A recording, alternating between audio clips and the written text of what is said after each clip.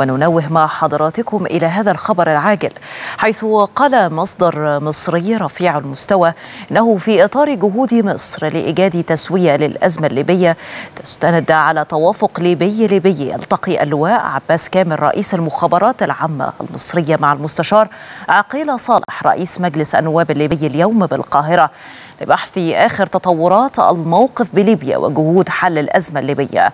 وذلك في إطار دعم مصر لكافة مسارات التسوية الشاملة استنادا على المؤسسات الشرعية الليبية.